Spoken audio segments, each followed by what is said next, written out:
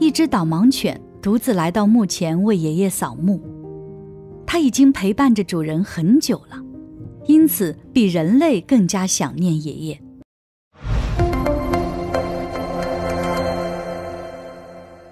这是一只乖巧听话的导盲犬。爷爷在世的时候，它就经常陪伴着主人，形影不离地跟着爷爷。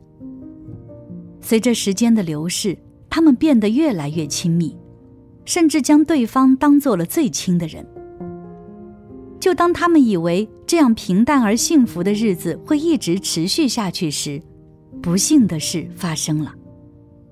抚养导盲犬的爷爷突然去世了。这对可怜的狗狗来说是不小的打击。导盲犬陪伴了爷爷这么多年，因此一直都很挂念自己的主人。它常常瞒着家里的人，偷偷跑出去到爷爷的墓碑前去陪伴他，一待就是大半天，直到太阳落山才依依不舍地离开。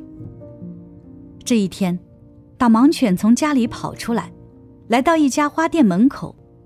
希望花店的女老板能够送自己一朵白色的菊花，而女老板早就认识了这一只导盲犬，因为她经常来店里求一枝花走。他的目的地是爷爷的墓碑。导盲犬拿到花之后，小心翼翼地叼着鲜花，生怕它蔫了一般，赶紧往墓地跑。这一路上，它都没有停下过脚步，也没有休息一分钟。他坚定不移地朝着墓地的方向前进。面对众多的墓碑，导盲犬也能轻松准确地找到爷爷的墓碑。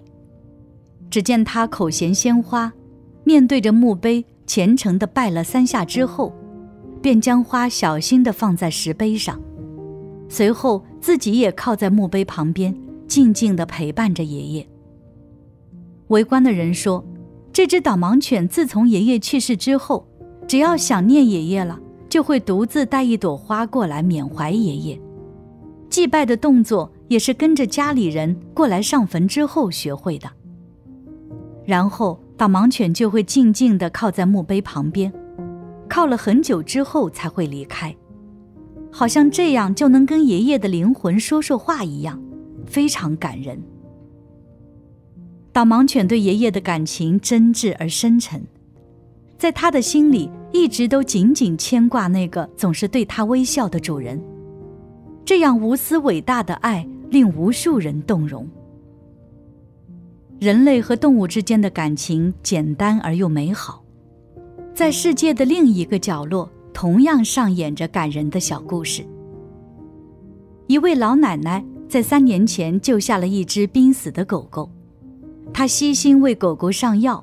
时刻观察着它的伤势。不到一个月，狗狗就又开始活蹦乱跳了起来。痊愈后的狗狗说什么也不肯走，就这样和奶奶相依为命。很快，三年过去了，狗狗一直都陪伴在奶奶的左右。奶奶的身体不好，需要定期坐公交车去城里的医院看病，每一次去都要花上两三天的时间。而狗狗每一次都会等在车站旁，不吃不喝，直到奶奶坐着公交车回来为止。为了防止狗狗在车站等待的过程中出现意外，奶奶曾经试过自己去医院前将狗狗关在家里的棚里，这样它不会被风吹雨淋，也不会忍饥挨饿。但是每一次关上门，狗狗都会非常急促地想要跟着奶奶一起走。大棚的门打不开，他就硬生生挤出这个大棚，再一次跑去车站等待奶奶的归来。狗狗与老人之间的羁绊是很深的，它懂得知恩图报，知道要报答对他们好的人。这样有灵性的狗狗很难不叫人喜爱。善良的老人遇到善良的狗狗，往往会发生一些非常感人的事情。这些事情都能表现出狗狗对老人的关爱和牵挂，就和人一样，他们也守护着自己身边的人，也会关心，也会想念。人类和狗狗之间真诚的爱，就这样成为了彼此心里最珍贵的回忆。好了，本期的视频就到这里。喜欢的话，别忘记订阅、点赞和评论。我们会持续为您带来更多动物们的感人小故事。那么，我们下期再见。